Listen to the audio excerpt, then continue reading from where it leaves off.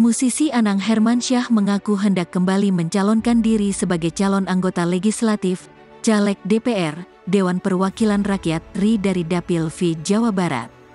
Anang berangkat ke kursi legislatif lewat Partai PDIP, Partai Demokrasi Indonesia Perjuangan.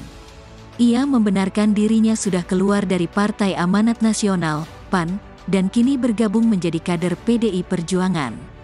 Ia benar, pindah ke PDIP, Aku mencalonkan jadi parlemen lagi. Dapilnya Kabupaten Bogor, ujar Anang saat dihubungi Kompas.com, Selasa, tanggal 25 Juli tahun 2023. Anang membeberkan bahwa ia bergabung ke PDIP pada April tahun 2023. Alasannya, ia melihat PDIP adalah partai yang besar dan sudah terorganisir dengan baik. Ditambah PDIP sudah dua kali menang dalam pemilihan umum. Iya PDIP well manage lah buat aku sih ya partai yang sudah dua kali menang dan memang bagaimana nanti. Karena ini kan partainya terorganisir dengan baik, termanage dengan baik kader-kadernya untuk benar-benar masuk ke masyarakat, kata Anang.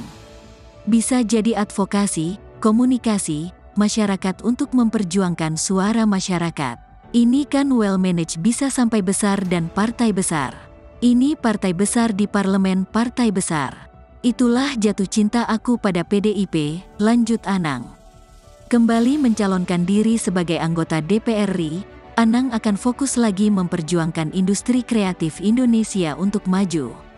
Di sisi lain, Anang mengatakan, mendukung penuh Ganjar Pranowo di Pilpres 2024. Anang sudah mengenal sosok Ganjar saat mereka podcast bersama. Iya pasti aku dari awal aku sudah jatuh cinta sama, sosok dia, Ganjar. Aku ngelihat dia tahun berapa pernah podcast bareng dia dan aku suka, tutur Anang.